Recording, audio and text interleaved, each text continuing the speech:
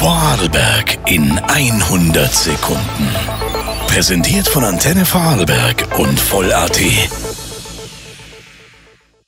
Ich bin Chiara Corona, schönen Freitag. Ein Dornbirner Kindergartenkind ist jetzt an der bakteriellen Infektionskrankheit Tuberkulose erkrankt. Wie die VN heute berichten, soll sich das Kind bei den infizierten Rindern auf dem Hof der Eltern angesteckt haben. Wie ist die Krankheit behandelbar? Gesundheitslandesrat Christian Bernhard.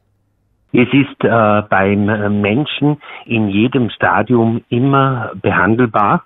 Also man kann Gefährdung für die Umwelt äh, hier sehr rasch äh, beheben. Eine Umgebungsuntersuchung hat bereits begonnen. Personen, die regelmäßig mit dem Kind in Kontakt waren, müssen untersucht werden.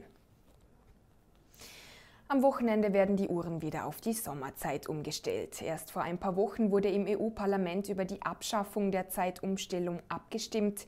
SPÖ-Parteichef Michael Ritsch vertritt dazu eine klare Meinung. Also ich bin für eine Abschaffung der Sommerzeit schon seit vielen Jahren. Ich glaube, äh, die Zeit wäre reif, das jetzt endlich europäisch zu lösen. Diese Umstellung braucht wirklich niemand. Anderer Meinung ist hier Adi Groß von den Grünen. Er will die Sommerzeit erhalten. Heute beginnt der Architektenwettbewerb für das neue Lustenauer Reichshofstadion. Insgesamt 17 Architektenbüros haben bereits Pläne dafür entworfen. Bürgermeister Kurt Fischer rechnet noch am Abend mit einer Entscheidung.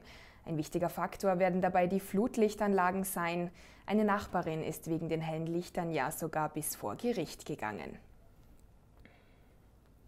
Und der Hof der Familie Katan in Götzis ist bald wieder bewohnbar. Der landwirtschaftliche Betrieb konnte bereits wieder aufgenommen werden.